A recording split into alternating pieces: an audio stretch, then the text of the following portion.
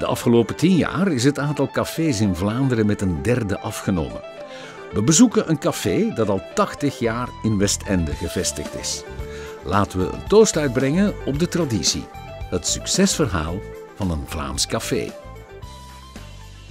Café bestaat sinds 1944. Dit jaar bestaan wij 80 jaar. Ik heb heel veel klanten die hier willen komen, omdat ze zeggen, daar voel ik mij niet bekeken, voel ik mij niet gestoord door andere klanten. Iedereen is hier welkom, maar je moet zich gedragen. Vroeger was het een pintje, een cola en een koffie en dat was er in een café. Nu moet je mee zijn met de tijd. We hebben meer dan 40 verschillende soorten bieren, alcoholvrije bieren, alcoholvrije aperitieven, mocktails. Ja, de trends volgen ook. Alles verzorgd door de klant soigneren, zorgen dat de klant zich echt welkom voelt, zoals op restaurant. Op restaurant willen de mensen ook gesoigneerd zijn, waarom die niet op café soigneren? Allee, horeca is hotel, restaurant, café.